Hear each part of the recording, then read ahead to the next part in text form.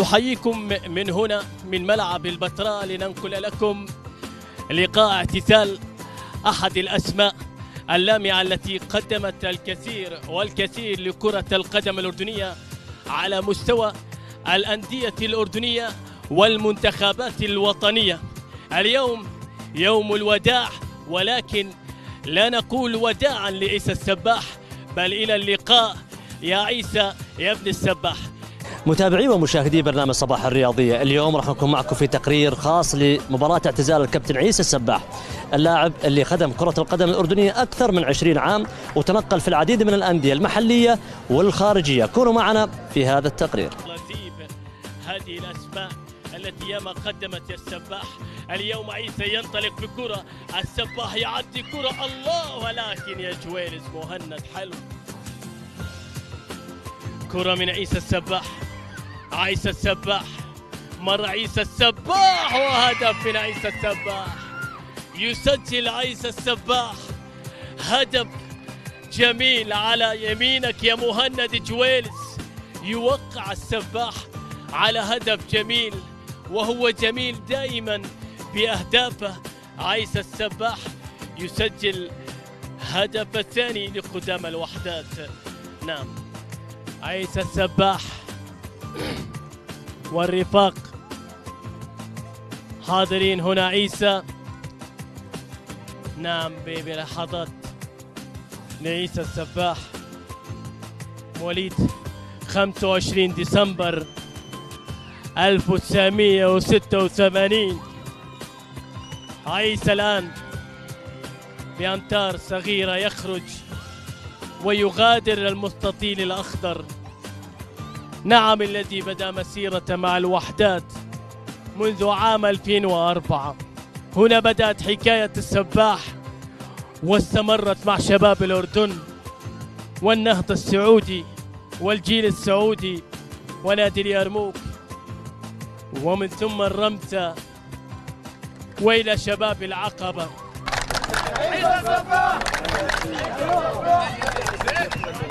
أول شيء بسم الله الرحمن الرحيم. آه، الحمد لله رب العالمين على مسيرة آه، تعدت العشرين سنة. الحمد لله بفضل الله كانت إن شاء الله تكون مسيرة ناجحة. وإن شاء الله ما أكون قصرت مع أي نادي لعبت آه، فيه. وهي حال كرة القدم. لكل بداية في نهاية.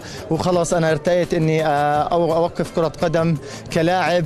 والحمد لله رب العالمين إن شاء الله إنه نتوفق في القادم.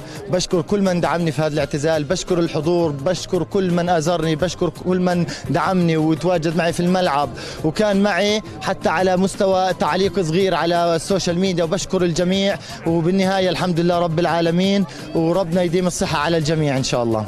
الخطوة القادمة لعيسى السباح. إن شاء الله ناوي إني أنا ما أتركش كرة القدم آه، حابب إني اصير مدرب إن شاء الله. ربنا يوفقنا إنه نضل في مجال التدريب بإذن الله بكرة القدم. أنا بفتخر ببابا كثير والحمد لله انهى انهى مسيرته بنجاح.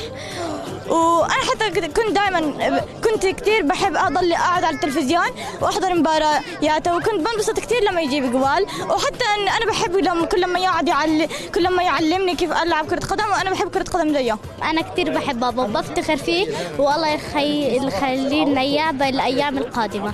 أول شيء أقول له الحمد لله رب العالمين اللي ربنا أنهى أعماله هيك اللي الرياضية هاي وهو بصحة وسلامة وقادر أنه يعطي كمان أعوام بس ولكن هيك اختياره كان اختيار أفضل. والحمد لله رب العالمين يعني كان آه، قمة في الأخلاق والكل يحكي عنه بأخلاقه وبكرمه يعني بالنسبة للي وبلعبه. والحمد لله رب العالمين ومشكورين كل اللي اجوا دعمونا في هالمقابله كيف شفت الأجواء اليوم الاحتفالية؟ والله أجواء رائع- رائعة جدا. والجو كان حلو كثير. واللي قدمت لنا اياه الاتحاد ونادي الوحدات وشباب العقبة شيء كثير والله. نحكي له يعطيك العافية. إن شاء الله نكون ما قصرنا معه اليوم. المباراه كانت حلوة ما بيننا وبين قدام الوحدات. تشرفنا بانه نلعب ضد آه، لعيبه مميزين. ع- يعني كنا نتمنى إنه نشوفهم على أرض الواقع. الآن لعبنا معهم. والحمد لله يعني طلعنا في أداء مميز على الصعيد الشخصي. وفريقنا كان جيد لكن ترقصنا بعض خبرات اللعيبه والحمد لله كانت مباراة حلوة. ونتمنى للكابتن عيسى السباح التوفيق في مسيرته التدريبية. آه، عيسى السباح آخر عنقود ال- الجيل الذهبي اللي ممكن كان معنا بالوحدات الرباعية الأولى والرباعية الثانية. بنقول له يعطيك العافية بنتمنى له توفيق بحياته القادمة. سواء بعالم كرة القدم أو بحياته الخاصة والشخصية. زي ما بيحكوها على نياتكم ترزقون عيسى نيته صافية وإن شاء الله ربنا راح يرزقه وعوضه خير.